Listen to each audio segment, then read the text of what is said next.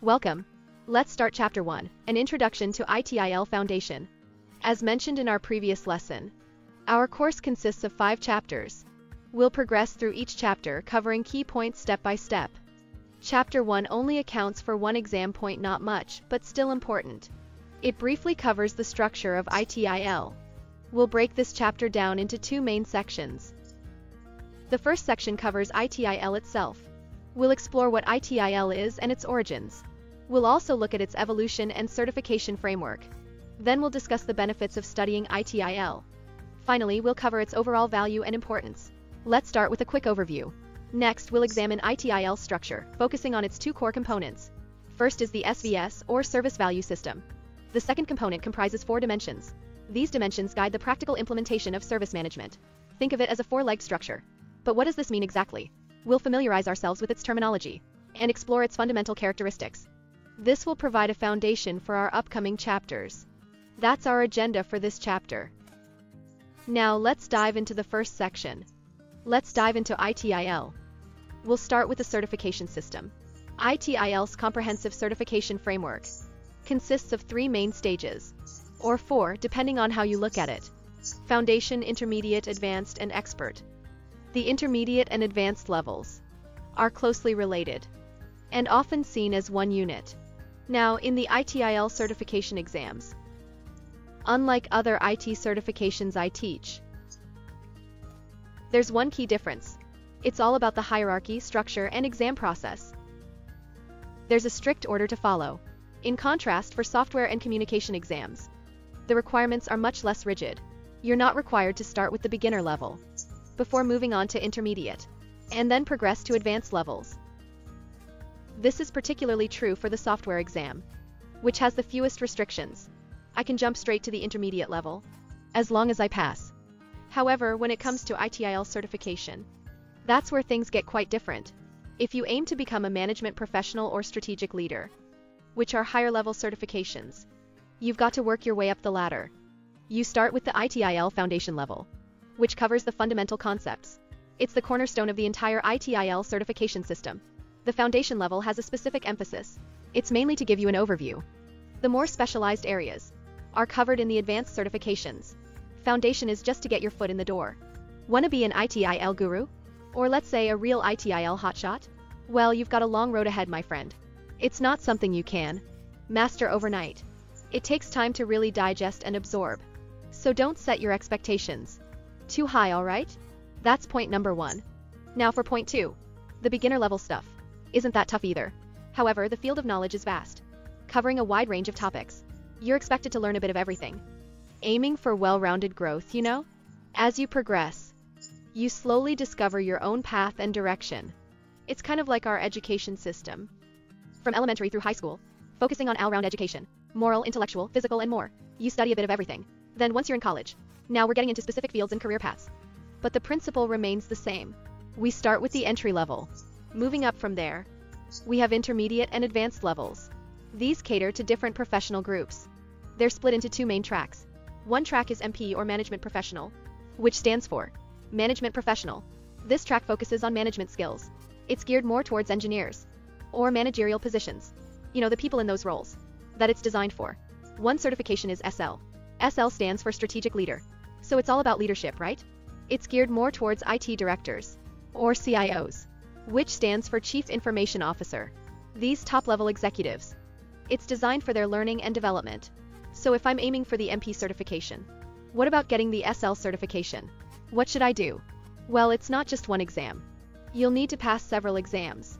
These include the following subjects. Once you've passed them all, you can then apply for the MP or SL certification. That's the process, you see? Now for the MP. How many exams are we talking about? It's four, actually. There are four modules. It's divided into two tracks, you see. One track is at the professional level. This professional track consists of three subjects.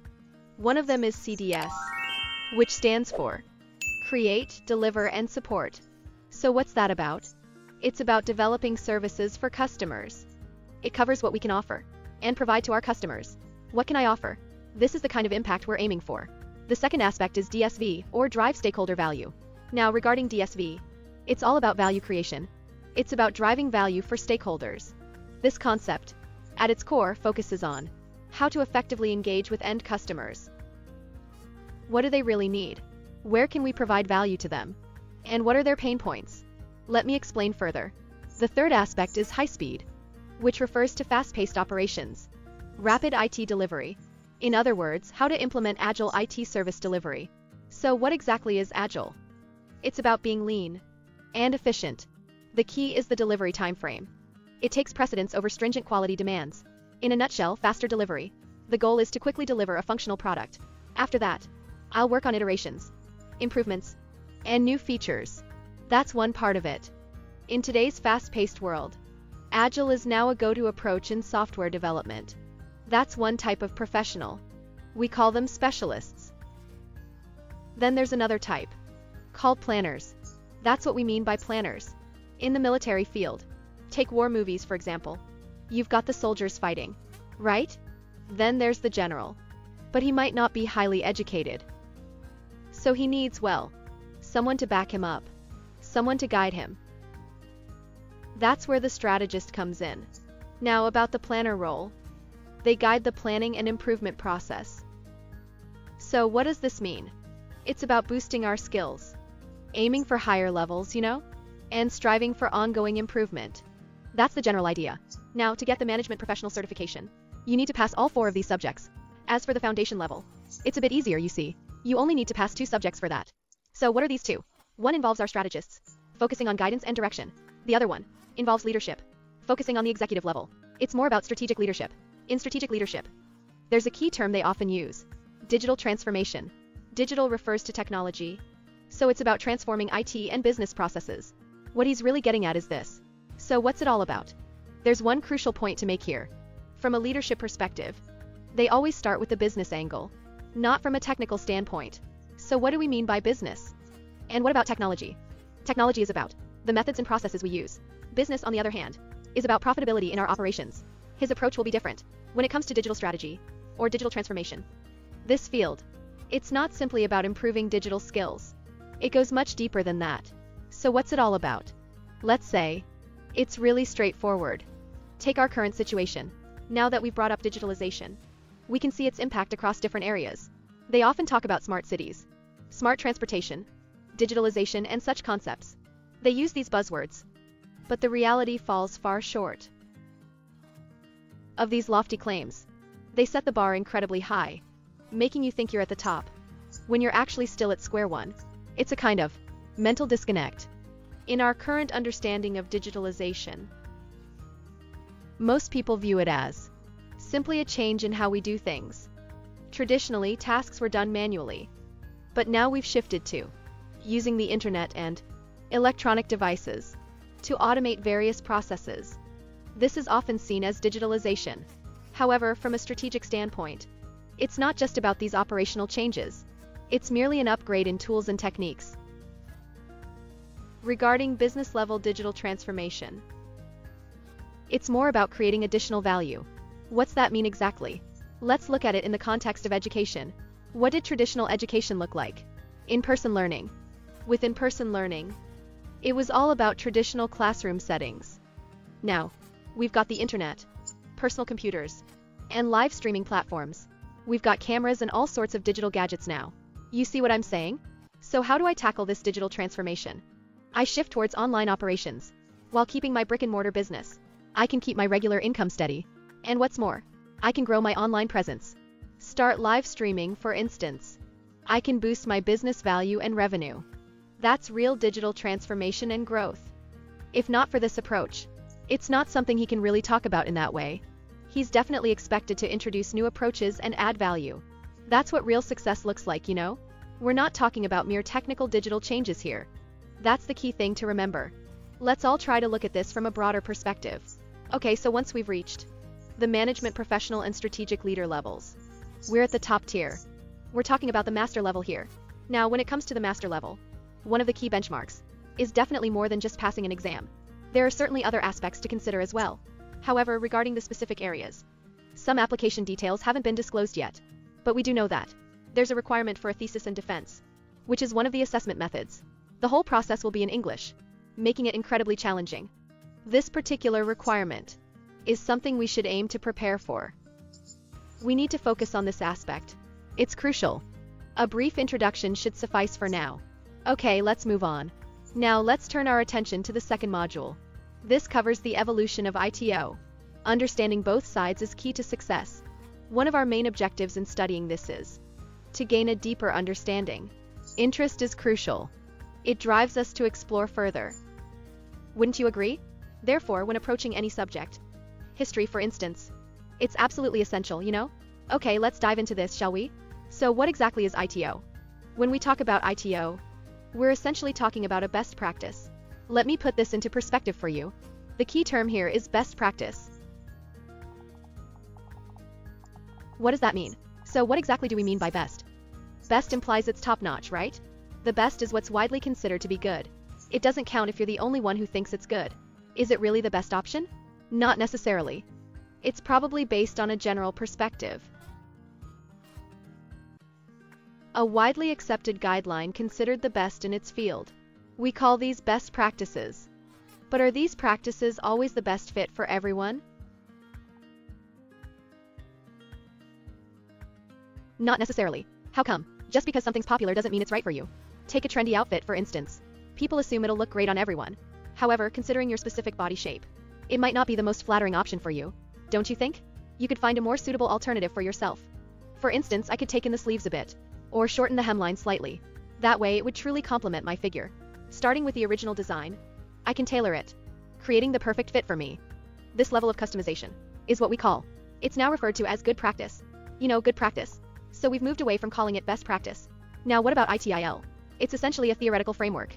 A framework of best practices, if you will. Do you know what ITIL stands for? Information Technology Infrastructure Library. If we look at the English name, it becomes clearer. Pay attention to the last word. It's key to understanding the concept. It's library. How do we translate library? It means library. This is really important. Library. It's all about taking the best theoretical concepts and essential information you need, collecting it all, and organizing it. Whenever you need something, you can just search this library. You can simply search and find what you need. There's bound to be something that fits your current needs. You know what I mean?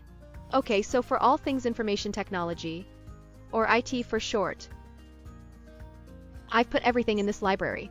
Whenever you need something, just look it up and browse around. Simple as that. So what was ITIL like in the beginning? Initially, it was a really comprehensive set of notes. Yeah, it started out as just notes. So whose notes are we talking about? Let's look at how it evolved. It's from a UK government department. Specifically, notes from the OGC. What's that? Well, OGC stands for Office of Government Commerce. Who? What's that? It's basically the office that handles logistics, you know? They manage the back-end stuff, like taking care of purchases and all that, and making sure everything's up to standard. Well, managing suppliers, streamlining purchases, and stuff like that. All these related tasks. Then he noticed while I was handling these processes. Well, the quality and efficiency weren't great so I wanted to improve things. What to do? Well, I'll come up with some solutions. You see? Couldn't he solve it by himself? So he opted for collaboration. With whom? The CTA, of course. He partnered with the CTA. Now who's the CTA? It's a third-party government software developer. A government-owned software company. These two entities joined forces to create the OGC. They joined forces and worked on a specific project. They developed an office automation system. You all know what OA is now, right? It's just an office automation system. From our perspective nowadays, this kind of system is something we all use daily. It's absolutely fundamental now. Do we really need to make it so complex? But in its early stages, things were completely different. You see what I mean? It's like when mechanization first started. Take the steam engine for example. If you compare it to today's maglev trains, it's obvious which one's better, right? But the steam engine was still a huge step forward. It was that crucial first step, you know? Now, let's talk about the OGC. It was really spot on, you know? It covered the whole development process. And the OA system too. He took care of ops and all that stuff. Every step of the way was being documented. All his interactions were all logged, so everything was captured. This all became one big detailed record. Once he had this record, he realized how incredibly useful it was. So he thought, why not share it? Why not put it out there? Let others see it. Learn from it. You see? This right here is knowledge. This is what we call our intellectual property. Take some of these academic superstars nowadays. They can easily monetize their high school notes. See what I mean? In fact, this is just another way of doing it. They put their notes out there for everyone. Now, when they're sharing these notes, they typically fall into two categories. One is the Prince2 approach, and the other is the 8OV1 method. So what are these two types? It's divided into two processes. First, there's the development phase, which covers everything from start to finish. And then there's the maintenance phase, you know? Basically the ops and maintenance stuff. Now, in the development phase, we're mainly talking about project documentation, getting the project off the ground, planning out the design, actual coding, launching and all that jazz. This entire workflow continues until I complete my project delivery. Isn't that so? Okay, so within project management methodologies, we actually have two main approaches. One is Prince2, and the other is PMP. PMP is incredibly hot right now. It's a well-established certification, since it was introduced to China back in 2000. It's still an incredibly popular certification to this day. People are constantly learning and improving their skills. Now let's talk about PMP and Prince2. Both are project management methodologies. But how do they differ? The key difference is their perspective. They approach things differently. It's like relationships between men and women. Ever wonder why couples sometimes end up arguing? Or have trouble communicating? It's all about different mindsets. The same applies to project development. Different approaches clash. There are two crucial roles in this process. One is the client, and the other is the contractor. The client specifies the requirements, while the contractor develops and implements those requirements. Makes sense, right? During the client-contractor communication, you'll often see people making funny short videos about this project more than any other. You've seen those, haven't you? Now let's look at some points from the client's perspective. Now about the project description. We'll refer to it as the CPMS, or Controlled Project Management System. It's approached from the client's perspective. So from the client's point of view, I might think about my project's current process, or the goal I want to achieve. I'd outline the specifics, and document it all. Now what about the contractor side? That's where PMP comes in. Project management professional from the contractor's perspective. Throughout this journey, as time went on, the two perspectives began to blend. Why did this happen? Well, the contractor provides the service. And at the heart of service provision, we often emphasize understanding the client's pain points and identifying their needs. This is crucial for better service. So naturally the contractor needs to see things from the client's perspective. Since you've written this guide to love and relationships, or let's say published a book on relationship advice, I'm curious about your thoughts on this. I guess I should just give it a read, right? When it comes to romantic relationships, especially in how couples communicate, it's like we need a translation guide. When a girl says something like, I'm not mad, I'm feeling great, you'd better grab that guide and look it up quick to figure out what she really means. This makes our communication a breeze. That's the gist of it. Whether it's writing these notes or authoring this book, the main goal is to streamline communication. It's about getting everyone on the same page. By doing so, we can boost our productivity and create a win-win. That's the idea behind it. Now, on to the second note. Let's talk about maintenance logs. These logs primarily cover once a project is delivered and goes live. You can't promise perfection. There won't be any hiccups. Right? Nobody would stick their neck out like that. New feature requests might come up, or the user might find it clunky and want improvements, or run into issues during use. You need to resume maintenance right away. Don't you agree? Okay, so let's talk about these maintenance notes. We're referring to our ITIL project, version 1.0, the initial release. Now about this first edition. It's actually a whole collection of books, Guess how many books are in this collection? More than 40 volumes. It's an enormous amount of material. This gives you an idea of the project scope. Or let's look at the software development lifecycle. Why does operations and maintenance take up the lion's share of the lifecycle? This has sparked a notable boom in literature on the subject, with over 40 books published. These aren't just any books, mind you. They're pure technical manuals, offering systematic methods for delivering top-notch IT services. And they all start from the customer's point of view, too.